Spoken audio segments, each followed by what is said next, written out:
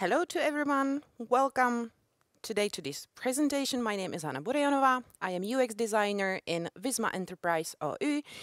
And today I want to talk about how to build user-centric products, aka how to make a products which people love, use and need. But let me start with a story. So once upon a time, there was a company with a great vision for their product.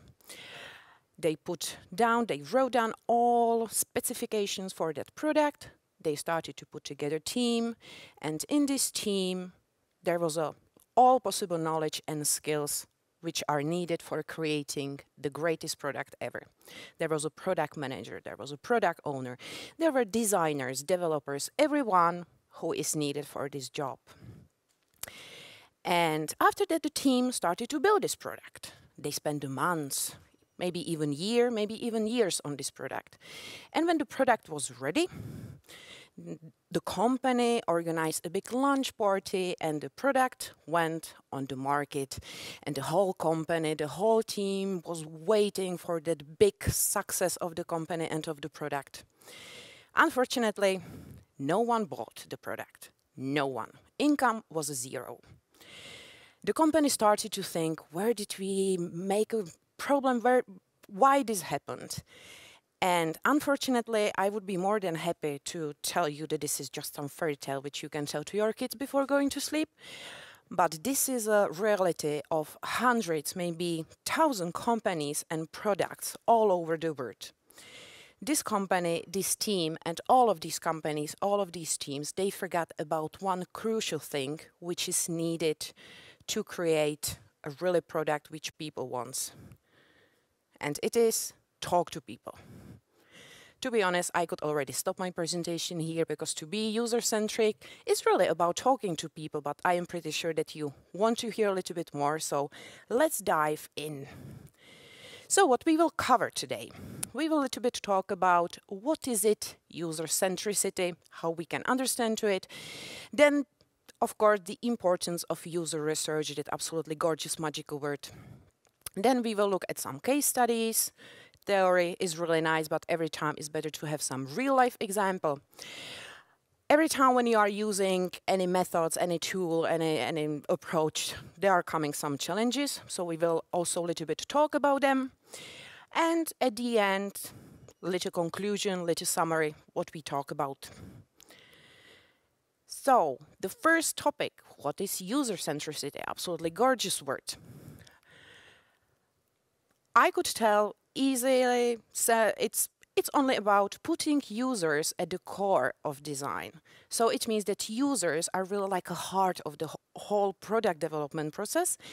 And it's needed that users are in the process as soon as possible, but also as often as possible there is this great philosophy behind user-centered design that uh, it's not just designing for users, but it is designing with them.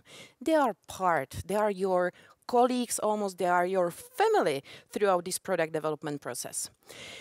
The good thing, which came from a user-centered design, if company is using, so the company or the product can't really stand out in a market. And we know that the nowadays market is flooded with different options, with different products, and sometimes it's really like hard to get through. And everyone knows, happy user, loyal customer. And what each company wants, each company wants loyal customers. So here you are. Here's a definition. I absolutely love definition, so Let's take this. So user-centric design, aka UCD, is an iterative design process in which designers focus on the users and their needs in each phase of the design process. In UCD, design teams involve users throughout the design process via a variety of research and design techniques to create highly usable and accessible products for them. This is a definition by the Interaction Design Foundation. You should definitely check these. But I can imagine this definition is pretty hard to understand, even sometimes to me, so let's make it easy. So, the, far, the first part of this definition is about user focused. As I mentioned before, it's really like about users. It's uh, if you want to create some product which your users or potential users will use, will love, will need, you need to firstly understand what my user need, what my user normally uh, prefer, what uh, what he loves, and definitely to understand what is the problem that user is trying uh, to solve. Next thing in that uh, in the definition is that user-centered design is iterative. It's something which is going through the whole uh, whole process when developing some product. It's starting already when you are designing, when you have even some idea for designing something. So firstly, you need to be sure, is this idea good? Is this design good enough? You have to test it with the users. Based on the feedback that you are getting from users or potential users, you are refining design, you are refining product, and then repeat. So you are again putting it in front of users, test it, again getting feedback, refine it, and it's never ending cycle.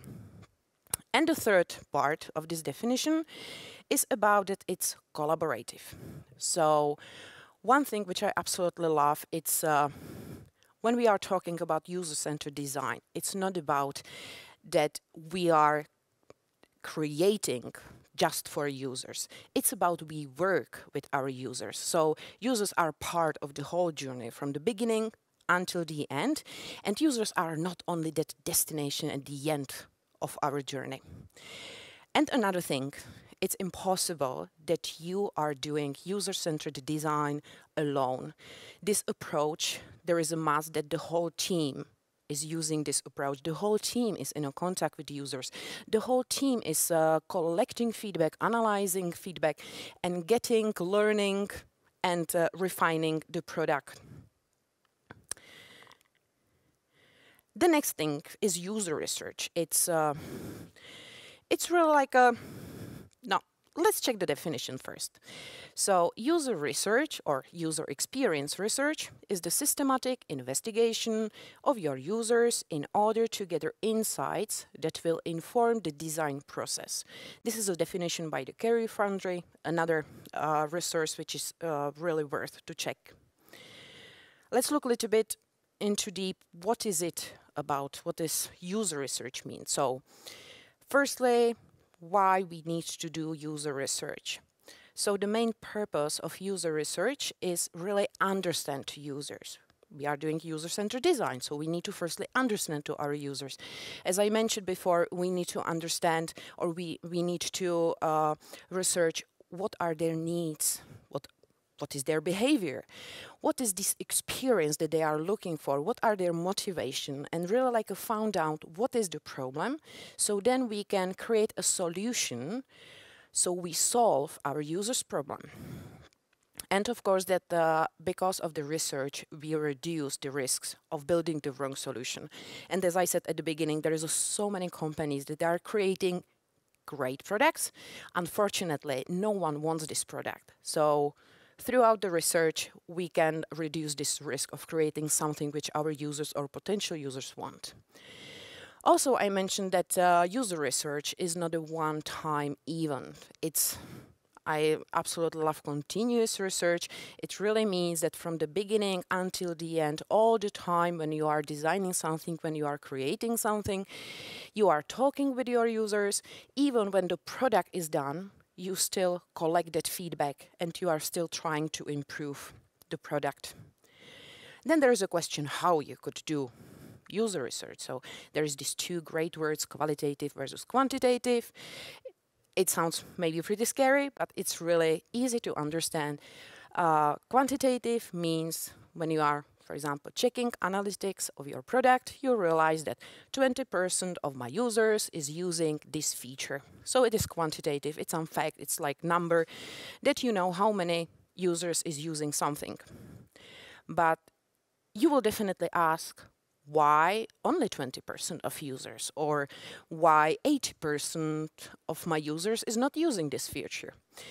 And here comes qualitative research. It's really about asking easily why this feature is not good for you or why this feature is so good for you. You can ask uh, anything what you need to know.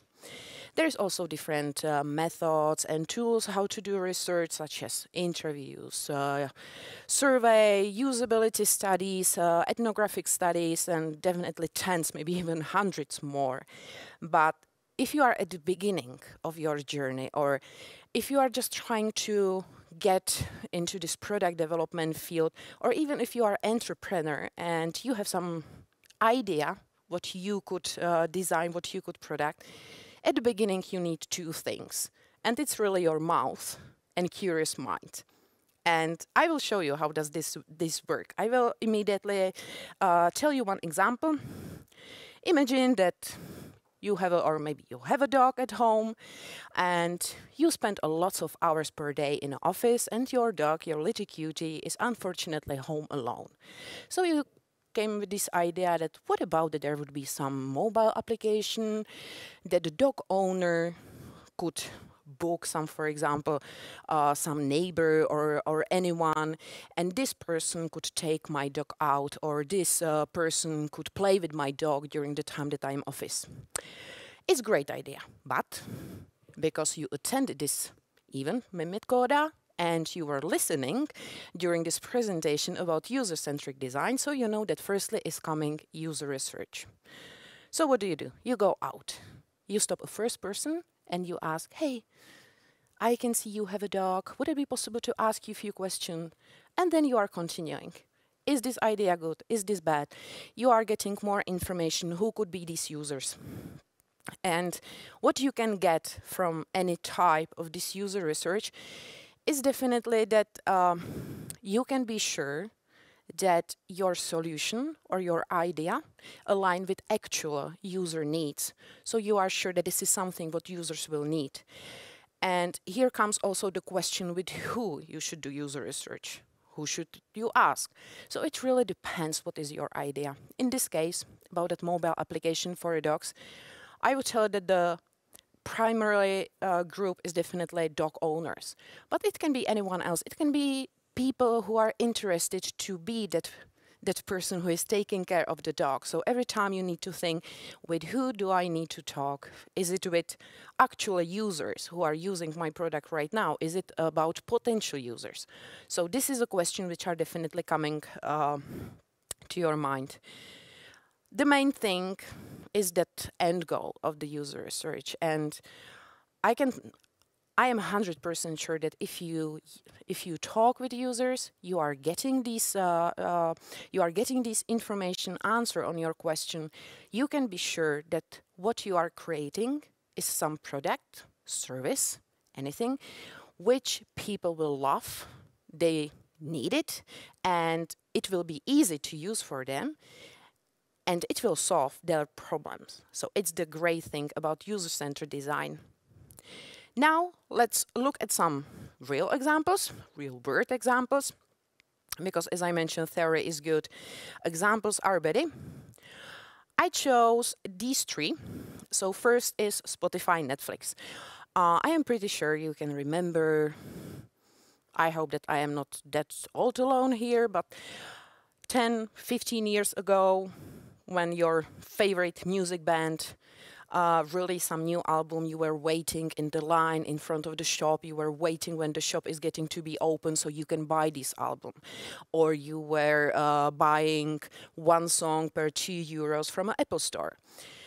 Or you were waiting to borrow some VHS or to borrow or buy some DVD. You needed to, in, in advance, to figure out what do you want. After that came Spotify and Netflix. Nowadays, because they use user-centric design, they were talking with users, potential users and potential customers, they found out that the best way for users, what they need, is that they will pay monthly some subscription, then they will sit on the sofa, they can listen anything what is coming to their mind, even like a try something new, or then they can just open the TV and choose, do I want a movie? Do I want a series? Do I want a documentaries? Whenever. The third example is Wilma. Finnish uh, educational platform is the product where I work and we are really using this user-centered design. We are regularly in contact with our users. We are collecting feedback. We want to know how our product work. How is it good? Is it is, is there everything what our users need?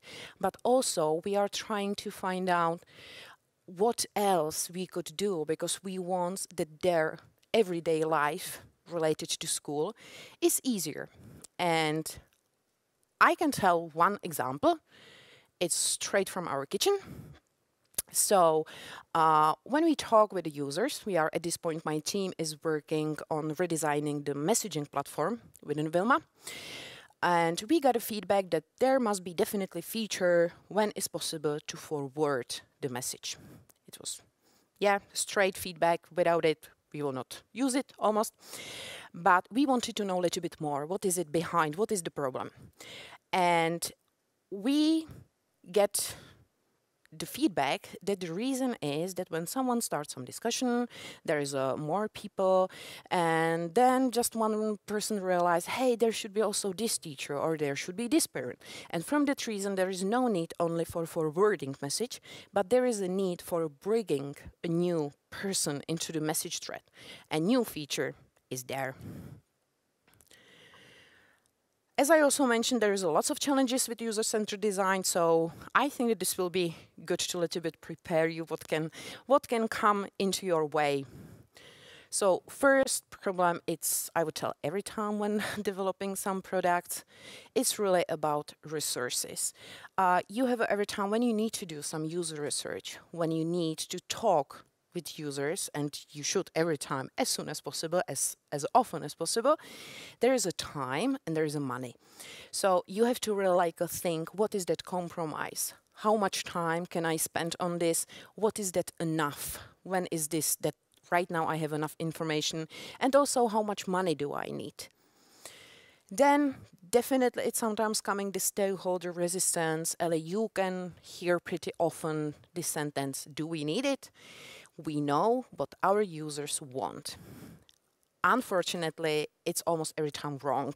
We really don't know what other people people wants. So it's really needed again to make a compromise to talk with the stakeholders and to persuade them why it's uh, needed to do uh, research. Then definitely recruitment difficulty. So where can I find my users? There's a different approaches, different possibilities. It's possible to make a user panel.